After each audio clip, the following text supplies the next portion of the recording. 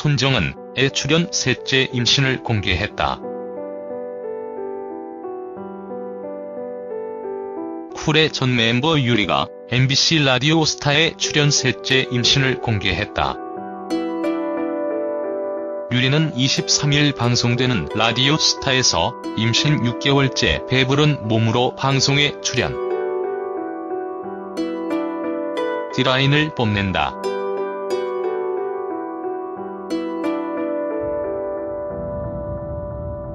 유리는 6살 연하 프로 골퍼 남편 사재석과 함께 녹화장을 찾아 눈길을 끌었다.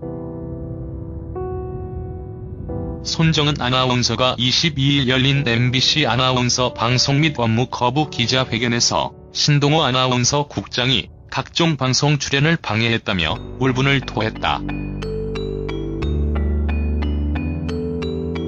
손 아나운서를 비롯한 27명의 아나운서는 이날 이런 일은 지난 5년간 많은 아나운서들이 겪었던 잔혹한 사실이라며 신 국장 사퇴와 MBC 정상화를 촉구했다.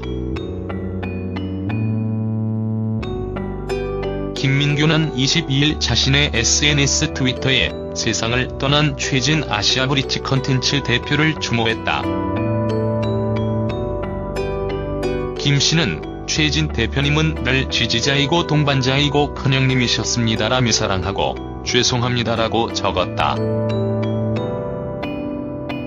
최진 대표는 지난 21일 서울 성동구의 한 아파트 단지 주차장에서 숨진 채 발견됐다.